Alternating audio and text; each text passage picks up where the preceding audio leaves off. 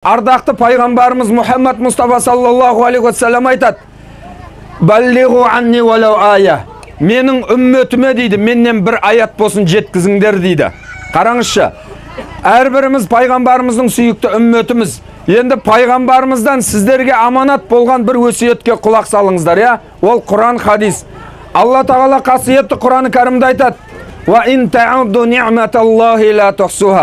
аллах тағаланың сендерге берген нығметтерін санайтын болсаңдар ол нығметтердің санап түбіне жете алмайсыңдар дейді. Біздерге алладан берілген нығмет өте көп.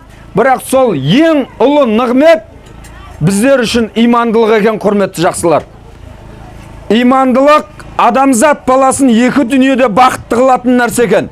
Ал енді имансыз біз алланың рахметіне бөлене алмайды екенбіз. Мынау асыл дініміз исламнан сусынданған жаңағы молда болған аталарымыз айтып кеткен. Жалғыз ақ о дүниеге иман серік. Тауфиқ пен ғибадатқа болсаң берік. Амалдың қайсысымен келеді деп бір алла пендесіне берген ерік дейді. Алла бізге ерік берген өмірімізді сынақты еткен.